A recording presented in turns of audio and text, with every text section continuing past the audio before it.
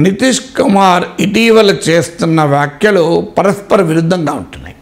కొద్ది రోజుల క్రితం బీహార్లోని చంపారణ్ ప్రాంతంలో గాంధీజీ సత్యాగ్రహం జరిపిన ప్రాంతంలో Mahatma Gandhi central university convocation సందర్భంగా బీజేపీ కేంద్ర మంత్రి వేదికపై ఉండగా ఆయన యూపీఏ ప్రభుత్వాన్ని విమర్శించారు ఎన్డీఏ ప్రభుత్వాన్ని మెచ్చుకున్నారు. ఈ సెంట్రల్ యూనివర్సిటీ కొరకు నేను యూపీఏ హయాంలో మన్మోహన్ సింగ్ ప్రభుత్వ హయాంలో ప్రయత్నిస్తే రాలేదు.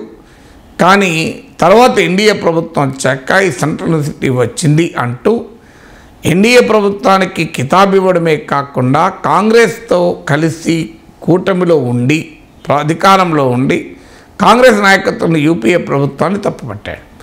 తర్వాత దానికి క్లారిఫికేషన్ ఇస్తూ నాది అవుట్ ఆఫ్ కాంటాక్ట్ కోట్ చేశారు. నా ఉద్దేశం వల్ల నేను కష్టపడి ఏవి తెచ్చానో చెప్పడమే అని. ఆయన దాన్ని నితీష్ కుమార్ కష్టపడి ఏం తెచ్చానో చెప్పడానికి యూపీఏ ప్రభుత్వాన్ని విమర్శించాల్సిన అవసరం లేదు. ఎన్డీఏ ప్రభుత్వాన్ని పొగడాల్సిన అవసరం లేదు. ఎందుకంటే ఆయన ఇండియాలో ఉంటాడు యూపీఏలో ఉంటాడు ఎప్పుడెక్కడ ఉంటాడో తెలియదు కానీ తన గురించి తను చెప్పుకోవచ్చు. కానీ ఆయన వ్యూహాత్మకంగానే బీజేపీ నేతల వేదికపై ఉండగా రాష్ట్రపతి సమక్షంలో కేంద్ర మంత్రి సమక్షంలో యూపీఏను టార్గెట్ చేస్తూ ఎన్డీఏను ప్రశంసిస్తూ మాట్లాడడం ద్వారా బీజేపీకి పాజిటివ్ సంకేతాలు స్నేహ సంకేతాలు ఏమైనా ఫ్రెండ్షిప్ సైన్ సిగ్నల్స్ ఇచ్చారా అనేది ఒక అనుమానం. ఇక అదే మీటింగ్లో ఇంకో మాట కూడా అన్నాడు. సో తనకు బీజేపీ నేతలతో ఉన్న మైత్రి జీవితకాలం కొనసాగుతుంది. వేదిక పైన ఉన్న వారందరికీ అందరూ నాకు మిత్రులు అంటూ పేర్కొన్నాడు. సో బీజేపీ మిత్రులతో జీవితకాల స్నేహం ఉండడం తప్పు కాదు. రాజకీయాల్లో విధానపరమైన విభేదాలు ఉండాలి తప్ప వ్యక్తిగతమైన వైరాలు ఉండకూడదు ఏ పార్టీ వారైనా ఏ పార్టీ వారైనా గౌరవించాలి. వ్యక్తిగత ప్రేమాభిమానాలు ఉండాలి విషయం వచ్చినప్పుడు స్పష్టంగా విభేదించాలి. దాంట్లో ఏం డౌట్ లేదు. కానీ నితీష్ కుమార్ ఇందుకు రివర్స్.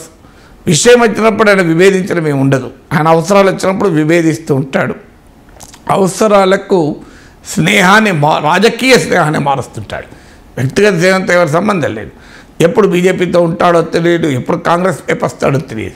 ఏదున్నా తాను మాత్రం ముఖ్యమంత్రిగా ఉండేలా తన స్నేహాలు స్నేహితులు మార్చుకుంటాడు.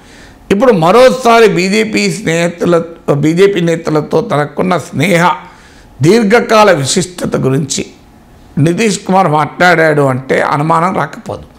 ఆల్రెడీ ఇండియా కూటమి కన్వీనర్ కావాలనుకున్నాడు.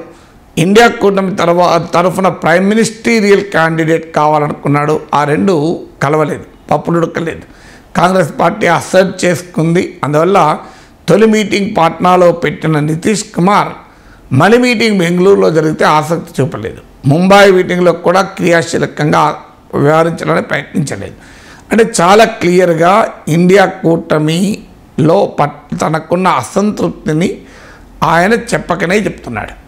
ఇక ఇప్పుడు తాజాగా ఇంకో మాట అన్నాడు.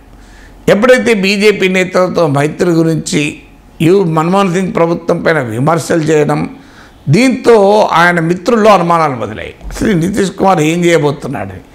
దానికి మళ్ళీ కౌంట్ కంట్రోల్గా డ్యామేజ్ కంట్రోలా లేకుంటే కన్ఫ్యూజ్ చేస్తాడు. డ్యామేజ్ కంట్రోల్ ఏం చేయడు.